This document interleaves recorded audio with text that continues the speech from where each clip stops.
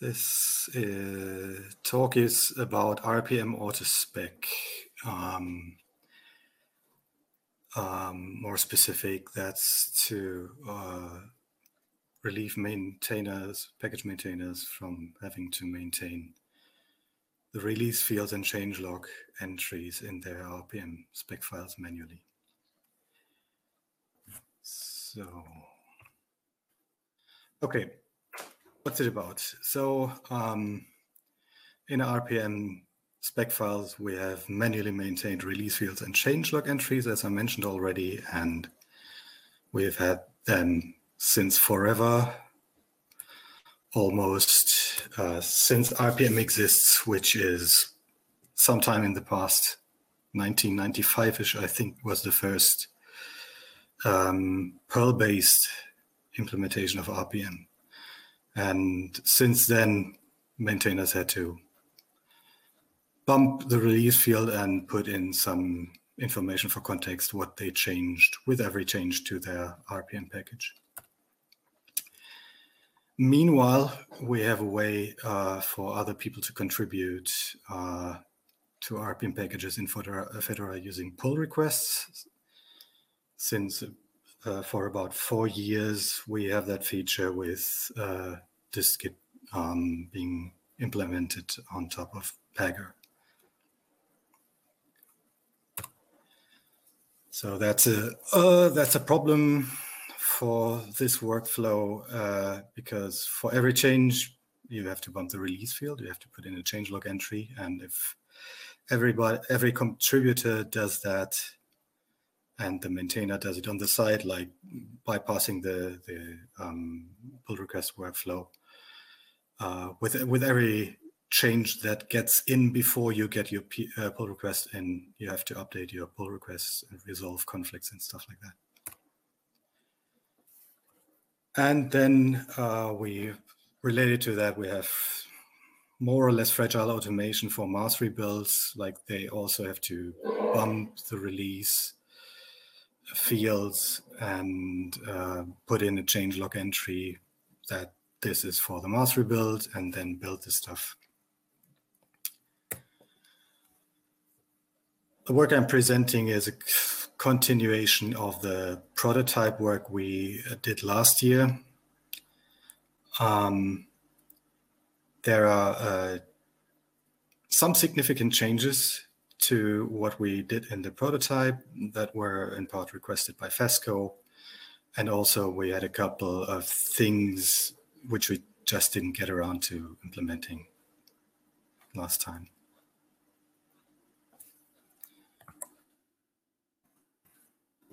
So, who's responsible for this? Um, first, the prototype, without the work we put in there, um, we wouldn't have gotten that far this time. So, um, other than myself, um, Pierre Chibon, um, whom many of you probably know as Pingou, and Adam Saleh, when, uh, when the team who uh, worked on that worked on the prototype.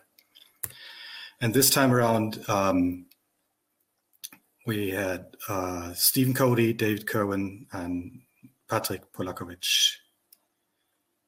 So and this is for mainly maintainers. So uh, you shouldn't have to care for the release field uh, or the changelog entries because uh, especially the last information you put it in the git commit logs already. So, and for contributors, um, this should uh, remove the friction, like what I what I described earlier with um, with conflicts, up, having to update the pull request if uh, something else changes underneath, and so on and so forth. And for the release engineers, just less hassle with mass rebuilds. You just have to put in a commit that contains uh, the right log entry and, and build it from there. So our goals for that, our objectives, uh, are like the, the way we wanted to achieve this is just to have static fields. You put in just a placeholder um, in the release field and in the change log, and uh, the code uh, takes care of uh, filling in the right contents there. It determines release uh, values automatically and um, also reuses the relevant parts of uh, git commit log messages for RPM changelog entries. We wanted this to be unobtrusive, uh, to have it blend in with existing technologies and workflows. Like it shouldn't get in the way. We didn't want to introduce yet another like domain specific language for this. Um, we didn't want to interfere with how git commit log messages are like uh, what's what they uh, how they normally look like um, yeah, and it should be uh, easy easy to use, easy to opt in and to opt out. Like um, especially the the opting out is also a low barrier of entry because that means you can try it out. If you don't like it, you can just revert your changes. We want to have reproducible package builds. Like we didn't want this to be something that locks in locks a maintainer or a package into using Fedora infrastructure. Um, you should take the produced SRPMs uh, and be able to rebuild them locally uh, in other build systems like uh, OpenSUSE, uh, OSPF. Um, and uh, you need uh, as a maintainer you need to have the ability to fix things later. Like um, i can't count, count how often i forgot to um, update uh, like to, to upload the the source tarball to to the local site cache and had to uh, um, check the commit that change later. And um, this is something i don't want to end up in a in a rpm changelog so there needs to be a way to uh, to um, like put a little polish on on on the change log if the need arises. So the final thing, what uh, what we what we did is mainly a Koji plugin, like that lives on the, on the Koji builders. It pre-processes the spec files and uh, fills in the right uh, the right content uh, where the where the placeholders are before building the SRPM, which is then built into installable packages. It's also a command line tool. Um, you can, uh, uh, if you have it installed, you can run RPM autospec, say generate changelog, um, and point it to a spec file, um, and it will up, uh, will generate the change log directly on uh, like in, in your terminal so you can see what it would do if you were, were to build your package right now. It's also a Python package, um, which is basically uh, like that's where all the action happens. And that allows us to uh, to have others uh, use the functionality um, integrated with uh, tools like Fed Package or with RPM dev bump spec. So yeah, looking looking back when we talked about uh, when I talked about uh, release engineering, they can use RPM dev bump spec all across the board. And in the case of a package that uses these features, it will simply just, um, I think it will prepare the commit. I'm not quite sure what it does. It will leave the spec file alone. That's uh, that's the main thing here.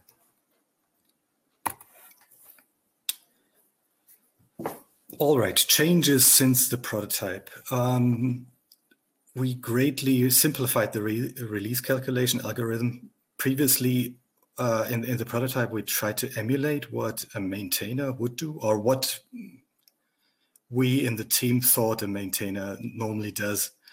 And for that, we had to like keep track of uh, from which commits uh, packages were built we stored them in Git tags and Fesco didn't like that too much, so they asked us to use a more simple algorithm, which simply counts the number of commits since the last time the version was changed in the package.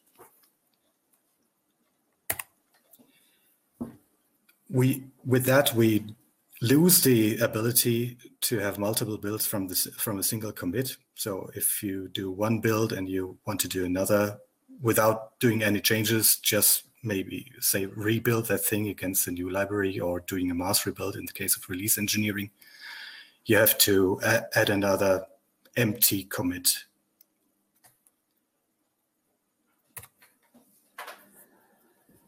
It gained uh, some functionality we did just didn't get around to last time. So uh, it works to complete a series, including uh, merge merge branch uh, merges of different branches. It will, uh, like in the in the case of merges, I mm, no let let me talk about that later.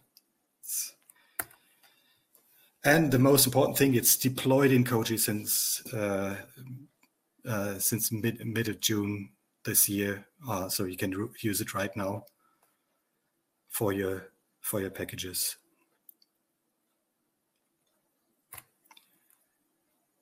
So to um, to stop having to maintain, uh, maintain the release field, um, just put the auto release macro in it. Um, that will do it for the for the most common cases. If you need to have uh, like uh, if you need to package pre-releases or snapshot releases and you don't use the I think that was using caret and tilde characters in the version field. Like if you do it the old way, there are flags for this too. It will include the the the dist tag, So having just a line that says release auto release, uh, that will that'll be enough. As I mentioned, it counts the numbers, a number of commits since the last time the version field was bumped. And oh, and in the case of merges, uh, like it takes the branch that has the highest value. Like if you uh, merge two branches, one uh, one has three changes, one has five. The release uh, val- uh, release field gets a, va- a, value of five. And the simplified algorithm uh, that affects a clean upgrade path between Fedora releases. That was something we cared about a lot in the past, but not so much today because uh, upgrades nowadays do the equi- equivalent of DNF distro sync, which doesn't care about whether a package gets up or downgraded when doing the upgrade. So for cha- changelog entries, um, it just use the, the, the percent auto changelog macro in the changelog blog. Um, and uh, individual RPM changelog entries are generated from the log subject lines and uh, who did the commit and at what uh, at what time. Like uh, if you if you're not familiar with uh, git commit logs, like their usual structures, you have a you have a single line that describes the, change and then you have a uh, that's the so-called subject and then you have a body where you can go into detail also into reasons why you did something. And also uh, stuff like oh, this fixes that bug or um, like signed off by bylines who worked on, on the change. Also you can override this in a changelog file. That's the way you fix things if if they they go uh, if you notice something went wrong in the past. So you simply uh, dump the gener- generated changelog into that file. Do do the like do do the fixes, commit that, and uh, then it will take these contents from then on. We're also um, mentioning uh, like so far we only use the, uh, the subject lines. Um, we know there's a there's a demand for for being able to specify longer RPM changelog entries, but we're still hashing that out. And uh, for changelog entries, because you can't really know uh, what content, what changes were relevant, like you can't programmatically find that out really. Um, uh, the the only way, the, the, the only situation where we support that fully is if one branch uh, like wins and the other the content of the other branch is simply um, discarded. That's uh, the that's the, the, the case if you use the the the ours strategy for merging, which simply does uh, bookkeeping merge commit and takes the whole uh, contents of one branch and discards the rest. And in the case of normal, normal real merges where you might have resolved conflicts between the two branches and stuff like that, like when it can't can't find out on its own what the changes are, it will it will put in uh, uh, a message saying that it can't resolve this merge, so you can fix it uh, manually. Okay, what's next? I mentioned longer changelog entries. Um, there are a couple of uh, approaches to this. There's some discussion in, in, in an open issue about that. Uh, I want to uh, do it in a way that the git commit log messages that, that they still look natural in some way, like that they look like any other git commit log message, that we don't have to invent invent something that goes against normal git workflows. Um, and the next thing is uh, a way to uh, preemptively say, oh, dis disregard this commit for the changelog, like um, I forgot to upload the table or something like that. That's not relevant for, for the RPM changelog. That you can do it right away instead of having to patch things later. And also we want to accommodate uh, downstream users of that. That would be uh, like the um, Neal Gompa um, does some integration with like uh, with OSBS, like um, to to rebuild packages from Fedora there, and they have some different uh, requirements uh, with regards to version and release fields in in the changelog. So uh, we want to um, accommodate them with that. All right, I'm I'm done here. So um, you can find further information at the project repository on the uh, at the URL you see here. Same with uh, documentation. There's much more information inside there. And you can also look at these slides if you haven't had enough of them already. Um, they're on um, like the um, the repository where where where these live, the, the source of these slides is on Pagure as well. So are there any questions? Maybe they have bubbled up because I only looked at the speaker view of this. Let me see. There are questions. Could you show us an example of how to use it? Of course, I'm happy to do that. Let me just unshare my slides. All right, I'll uh, go to have a demo in, in the source code. And that's yeah.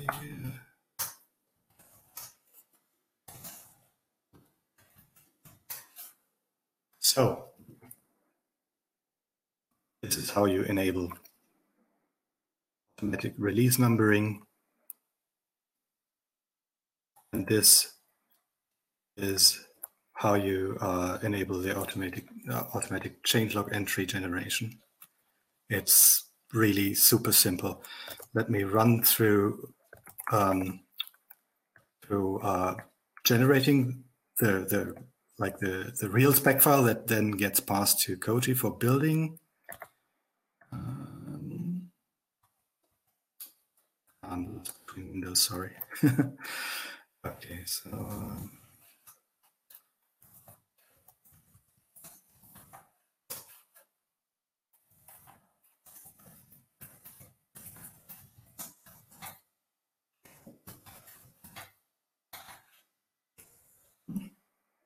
Ah, okay. I'm in the wrong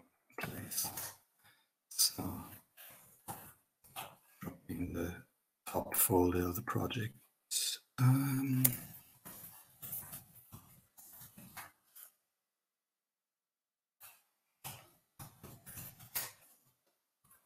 oh, ah, I'm not using the right one. Process. Just it. And that should do it. So this is what happens to the spec file before Koji gets to uh, build anything from it. Puts in, find the auto release macro, sets the release number to 11 because that's the number of commits since the last time the version was changed in, in this particular um, project. And it fills in the whole changelog of the file. That's all it does. so, any other questions? Okay, let me go from start from the bottom. I have Fedora packages that RH people apparently pull into RHEL. Can I use RPM autospec or will it cause problems for them? Um, it depends on on how that depends on how they consume it. I imagine they will want to um, have a clone of the of the Git repository and build from there. They would have to need, uh, have some enablement in in uh, in the building infrastructure in Red Hat, but that shouldn't be a huge problem um, the internal system we use there also based on Koji. The only really hard requirement we have uh, is it needs to uh, the Python version needs to be 3.6 or later. So our uh, in, in internal systems may need up updating. I don't know. I haven't looked into them in quite a long while. What are the CLI commands? Uh, let me share the screen again because that's uh, the terminal again because it's much easier to simply run it. We have generate change log. It just, I mean, um, run it does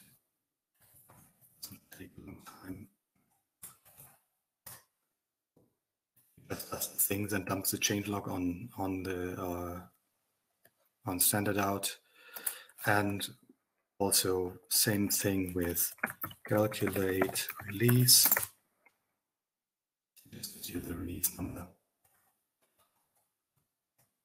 There's not much more. We uh, we have some ideas. I forgot that in the slides. How could that happen? I don't know. Um, to uh, like to uh, automatically convert a package to using uh, auto release and auto change log. Um, also to freeze uh, the like to generate the changelog and freeze it into the changelog files for editing.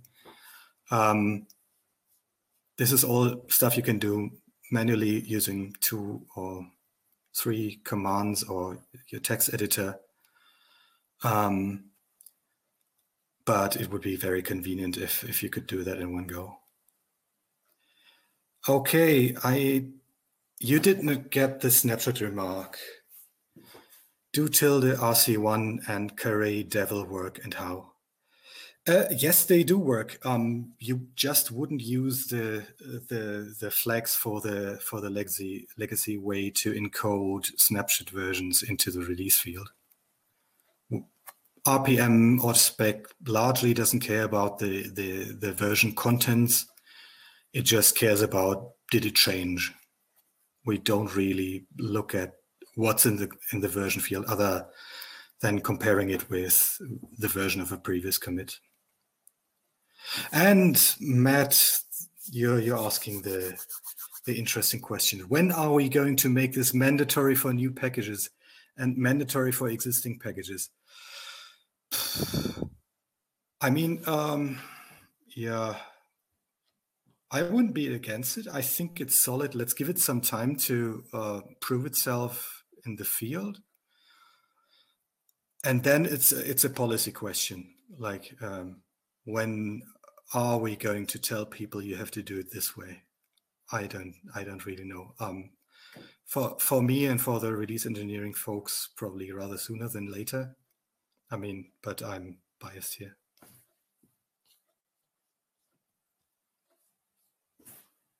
Okay. Um, if there aren't any other questions, we're almost out of time. How many packages are using it already? Uh, I don't know exactly. I have converted one of mine. We will be eating our dog. We, we don't yet, but we will be eating our dog food on that soon. Um, another unrelated package of mine uses it.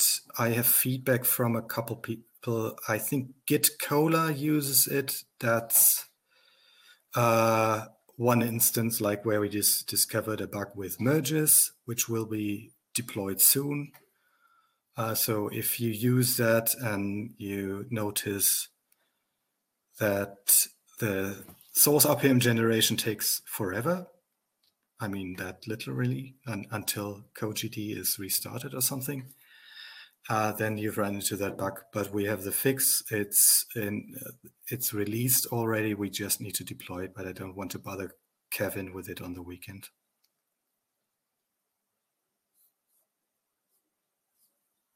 Anyway, uh...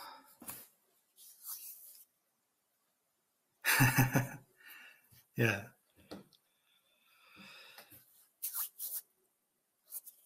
All right.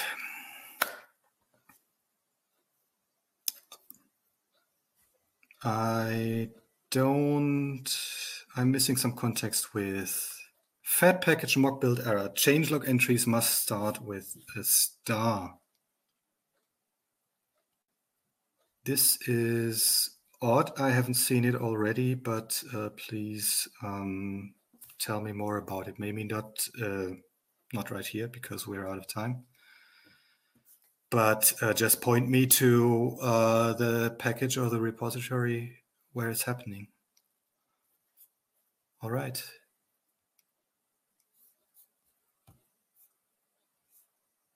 The Koji plugin is separate from Koji. Yes.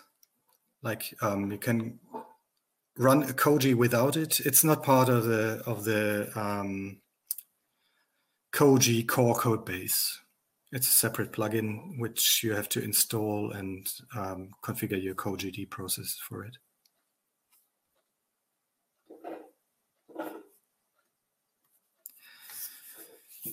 All right. Oh, that solved itself. That's nice. I like I like these. Didn't have to do anything. They're my favorites. Okay. Um, it's the top of the hour. Um, thanks so much for attending. Um, I'll stick around in the general general chat and uh, probably the um, the museum map or something. So if you want to hit me up there or on IRC later on IRC, I'm regularly there when I'm at least when I'm working. So thanks again and uh, have a good rest of the conference, folks. Bye bye.